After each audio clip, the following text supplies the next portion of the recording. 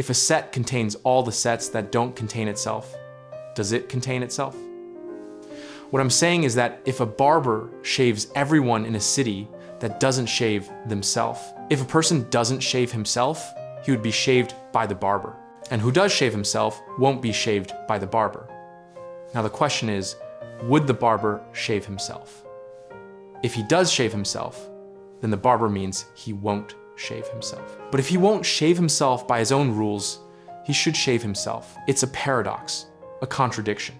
Now, on our original question, a set contains all the sets that don't contain themselves.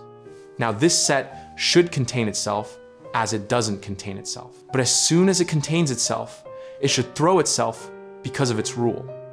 But if it does, it should contain itself as it is no longer in it, and would repeat infinitely. This sounds problematic, but it is actually very dangerous. So mathematicians came up with two fixes.